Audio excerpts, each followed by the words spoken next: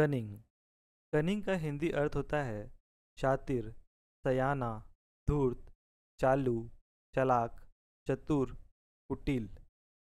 चलिए इसको सेंटेंस से और बेहतर ढंग समझते हैं। In this world one has to be cunning and cruel इस दुनिया में चलाक और क्रूर होना पड़ता है। क्रूएल का अर्थ होता है क्रूर। He is cunning as fox वो लोमड़ी की तरह चालाक है। दरअसल लोमड़ी को एक चालाकी का प्रतीक माना जाता है। इसलिए कोई भी अगर काफ़ी शातिर होता है तो उसको हम लोग कहते हैं he is cunning as fox अगर आपको भी ये वीडियो अच्छा लगा हो, कुछ सीखने को मिला हो तो इस वीडियो को लाइक करिए, कमेंट करिए, शेयर करिए। एंड इसी तरह के रोज वर्ड्स को सीखने के लिए स्मार्ट वर्ड्स चैनल को सब्सक्राइब करिए। Thanks for watching this video.